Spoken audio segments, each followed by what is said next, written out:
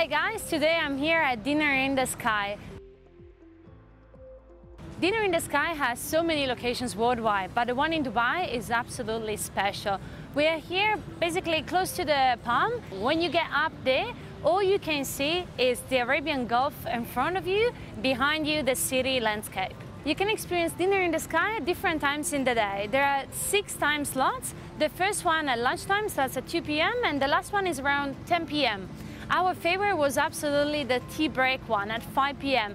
The reason why the tea break session was my favorite is because you actually go up there at around sunset time. We know that's the best time during the day and definitely the best to see the Arabian Gulf from above and the city skyline. The platform is lifted up in the air 50 meters and actually spins all around while you're up there.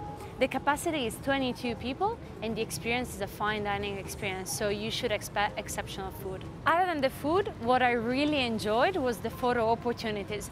I know it can look a little scary, but I can guarantee 100% that it's safe and fun. I hope you enjoyed the review today. If you're interested in seeing more reviews, please check our YouTube channel and subscribe. If you want to read more, visit DubaiTravelAdvice.com.